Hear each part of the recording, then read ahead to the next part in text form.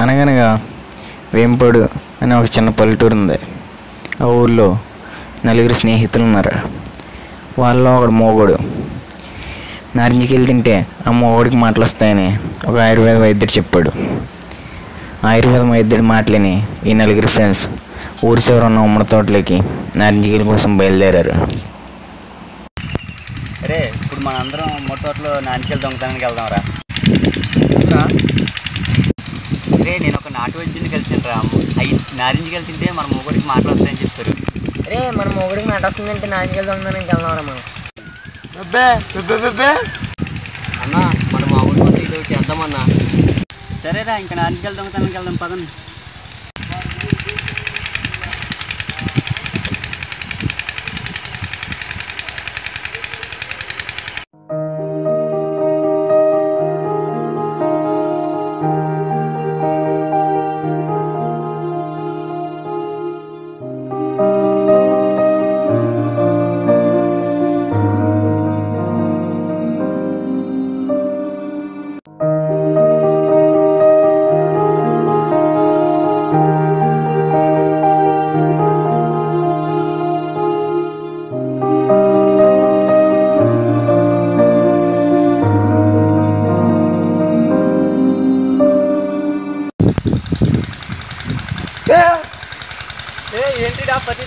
దానికి భయపడతాడా రండి.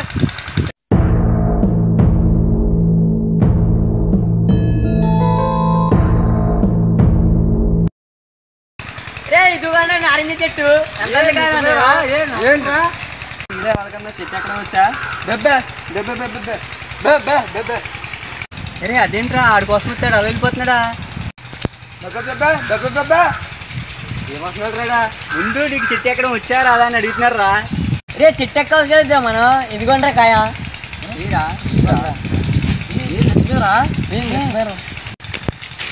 అయ్యో తింటే నేను అంతగా ఇదిగోండి కాయలు.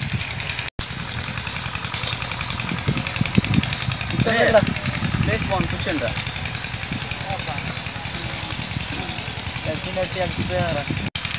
రే నారింజకాయలు ఏంట్రా నిమ్మకాయలాగా ఉన్నాయి చిన్న చిన్నగాను. ఇదన్నా సీజన్ ఏంట్రా? అన్న సీజన్ ఇలాగే ఉంటాయి. రే ఉల్చోపండి రాడికా.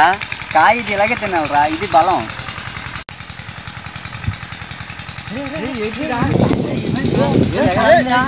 చెప్పరా? సార్ మాట్లాడరా. చిట్టి చిలకమ్మ అమ్మ కొట్టిందా? నాలుగు తింటే మాట్లాడొచ్చేది రే రైతు వచ్చాడు.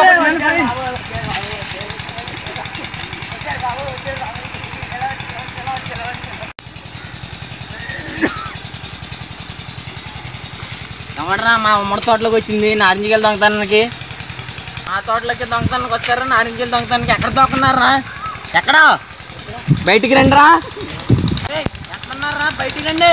ఎక్కడ దొక్కున్నారు?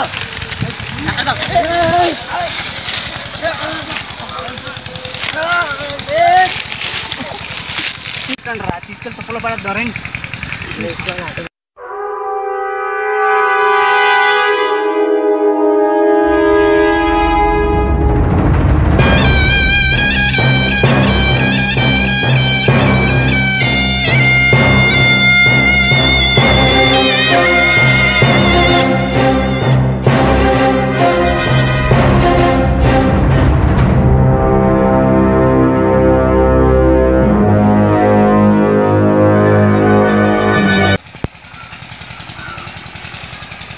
ఆగండి ఒకసారి.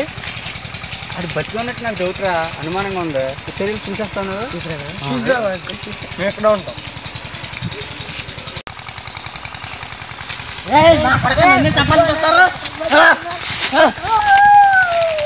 నా కొడుకు. ఆనా కొడుకులు వస్తారు. ఆనా కొడుకుని కూడా చంపేస్తాను అలాగే తొక్కల్లో పడదు చాలా సేపు అయింది.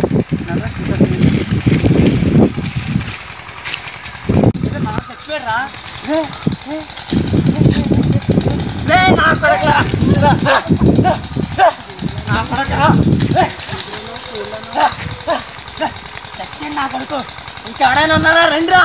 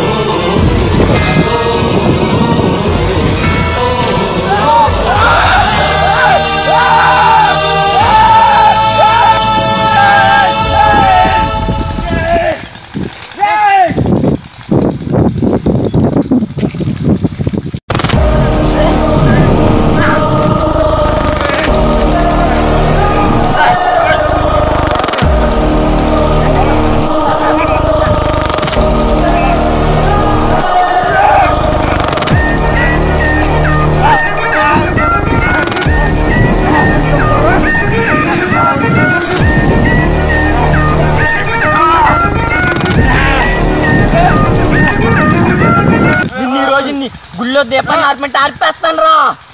నేను నీటిలో పుట్టిన నిప్పులు అంటుండ్రా. నన్ను ఆర్పడం నీ తరం కాదు.